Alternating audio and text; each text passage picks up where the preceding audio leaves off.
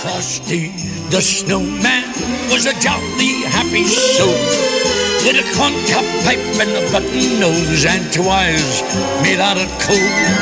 Frosty the snowman is a fairy tale, they say. He was made of snow, but the children know how